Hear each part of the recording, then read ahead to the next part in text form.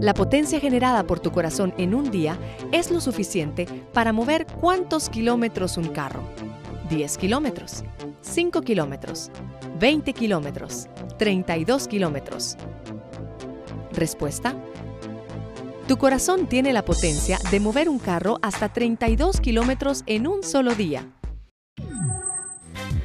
Estamos de vuelta en un show con Tuti. Gracias por su sintonía. Ya llegamos al final de nuestro programa y por supuesto que no podemos terminar el programa sin poder dar buenos consejos y consejos prácticos para todos nosotros, para que revisemos, número uno, cómo estamos viviendo, porque tendemos los seres humanos a decir, estoy bien, porque hoy me siento bien, nada más, y no revisamos realmente si estamos fallando en algo o si algo puede fallar en un corto plazo porque no estamos manejando adecuadamente nuestra salud, nuestros hábitos, etcétera. Me encuentro ya eh, con quienes ya nos han acompañado anteriormente, un par de doctores, pero también la licenciada Belmarí Claverí, ella es nutricionista, ella es de la Liga contra la Obesidad y el Sobrepeso. Bienvenida, ¿cómo estás? Bien, gracias. Gracias por estar con nosotros. Em, me gustaría empezar contigo, porque creo que hemos hablado de, varias cosas, excepto muy de, pasadita de la nutrición, de la alimentación. ¿Qué consejos prácticos nos podrías dar tú para poder prevenir enfermedades cardiovasculares? Algo muy importante que acabas de decir es la prevención. Eso es lo que tenemos que hacer desde el inicio. Esa es la clave.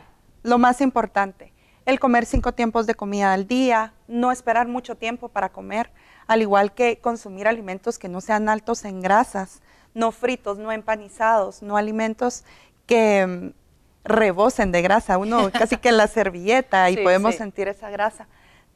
Aumentar el consumo de proteína, pero proteína, carnes magras, pollo, eh, pavos, leche descremada, quesos descremados.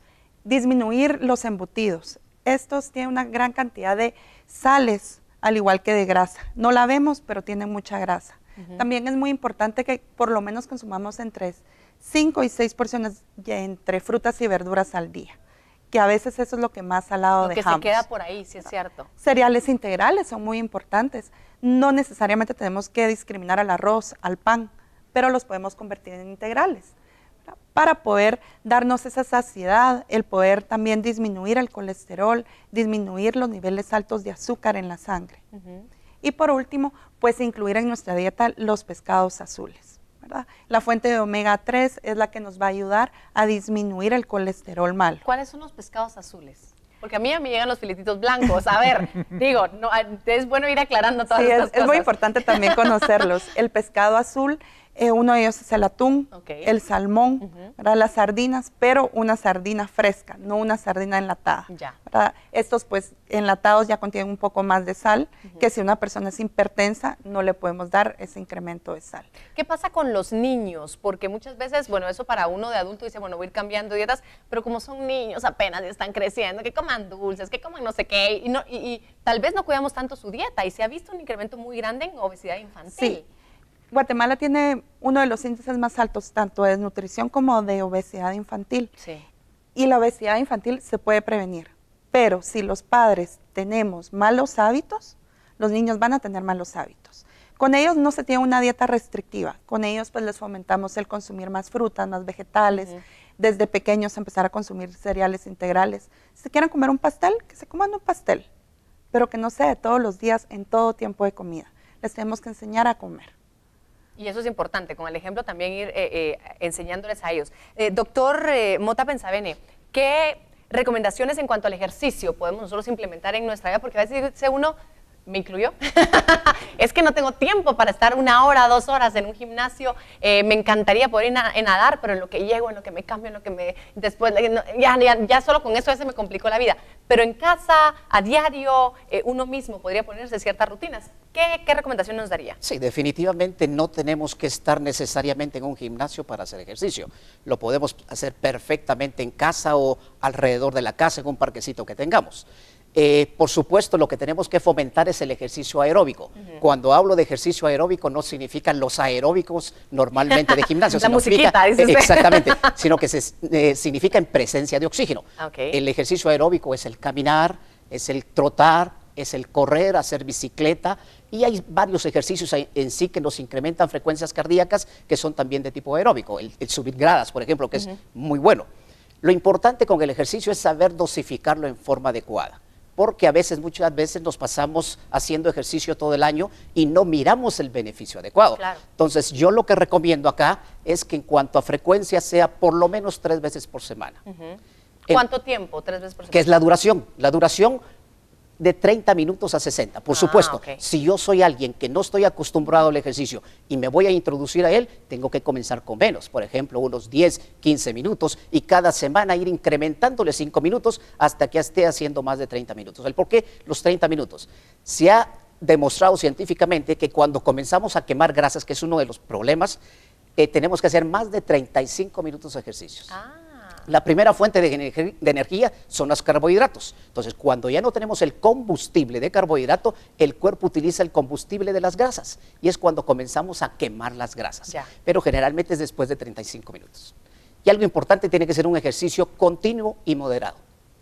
A veces mucha gente dice, bueno, es que yo en la casa me pongo a trapear, a barrer y a hacer varios oficios, sí, por supuesto, pero probablemente anda el programa de Tuti y quiere, Qué y quiere, y pararse un momento, no, porque claro, es no, demasiado no, sí es- interesante. Gracias, doctor, gracias. Entonces, lo que necesitamos es realmente un ejercicio continuo. Otras gentes dicen, bueno, es que yo voy todos los días a un supermercado o a un shopping center y voy a caminar, sí, pero mira la primera vitrina y se queda parada. Dos, cinco minutos. Eso. sí, exacto, Entonces, exacto. ese no es un ejercicio continuo. Mm. Entonces, de- necesitamos realmente dedicarle tiempo. Así como dedicamos tiempo para comer, dedicamos tiempo para dormir, también para el ejercicio, para beneficiar realmente el organismo. Excelente. Doctor, finalmente con usted, eh, doctor Guzmán, recomendaciones finales para poder prevenir algún tipo de lo que hoy hemos estado hablando, accidentes eh, o enfermedades cardiovasculares. Bueno, eh, en realidad las recomendaciones que uno debe de hacer son básicas, ya se, ya se dijeron en general y hemos estado mencionándolas, pero muy bien lo ha hecho la, la Federación Mundial del Corazón, la World Heart Federation, tiene un programa implementado que cada año, el 29 de septiembre, se celebra el Día Mundial del Corazón. Y en, ese, en, ese, en esa línea, la campaña publicitaria de esto es concientizar a todas las personas de esto manejan cuatro, cuatro cosas principales, que es nutrirse bien. ¿Cómo nutrirse bien? Incluyendo una porción de verduras todos los tiempos de comida. Esa es una de las recomendaciones que se debe hacer. Una de frutas y una de verduras. Luego, hacer ejercicio. Incluirlo en la rutina de familia. La recomendación que hace la World Health Federation es incluya en su familia una actividad recreativa que incluya el ejercicio para Claro, todos. claro. Deje de fumar, ¿verdad? Y manténgase controlado. ¿Controlado cómo? Conociendo cuatro números principales que son los que tenemos que conocer. Primero, su peso. El peso no es un peso estándar. Yo no puedo pesar lo mismo que pesa una persona que es más alta que yo Claro. o más baja que yo. Entonces el peso va en relación a su estatura. Hay que conocer el peso y esa relación para saber que está normal.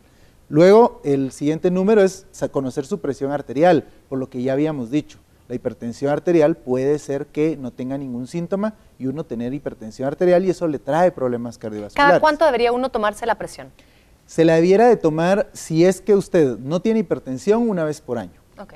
Eh, si usted tiene hipertensión cada vez que su médico lo considere conveniente. Muy ¿Por bien. qué? Porque puede ser que su médico, porque usted no está controlada, la cite cada dos meses, cada tres meses, o le diga, bueno, usted ya está controlada, la voy a ver dentro de cuatro meses, Ya. ¿verdad? Entonces, eso varía. Una vez usted bien. tiene hipertensión, no hay un número estándar. Muy bien. Eh, y el siguiente número que debemos de conocer es el colesterol, por lo que decíamos, no, no, no duele, el colesterol no duele, y si no lo mido, no sé cómo, cómo está.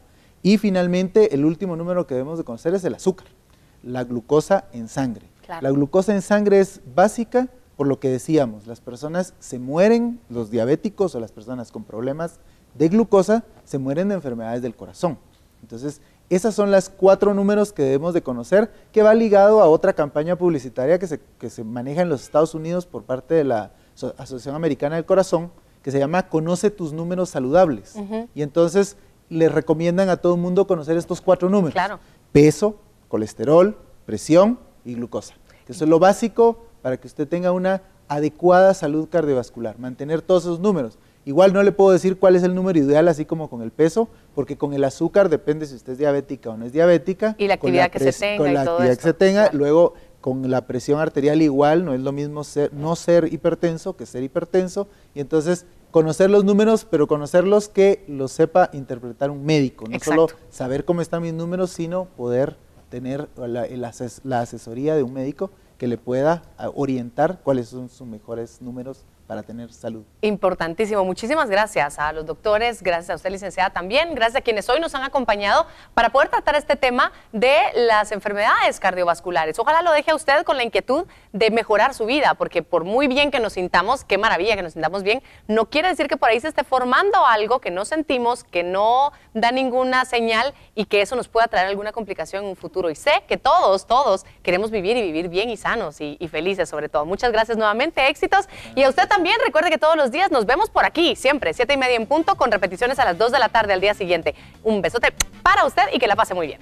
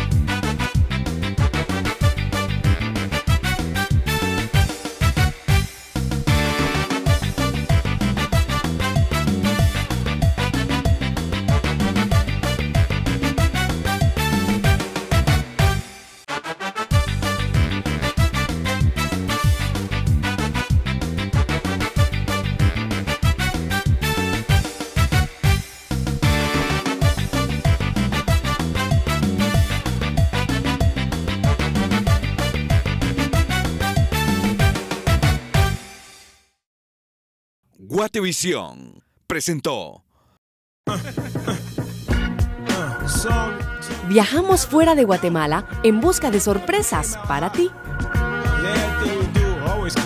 No te pierdas nuestra entrevista con productores de Grammys este lunes 14 de octubre.